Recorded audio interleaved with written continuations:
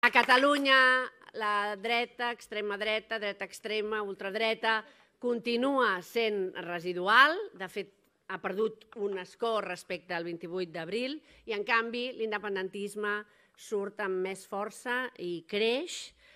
L'independentisme està millor, Espanya està molt pitjor. Molt pitjor. I algú li haurà de demanar responsabilitats a Pedro Sánchez de preguntar-li per què calia fer eleccions a canvi de nada, senyor Pedro Sánchez.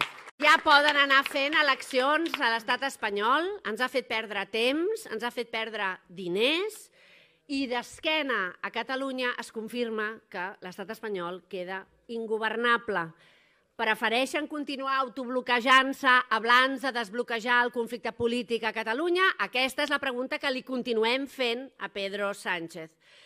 La dreta ha pujat tres diputats, el PSOE ha perdut tres diputats, el resultat és evident.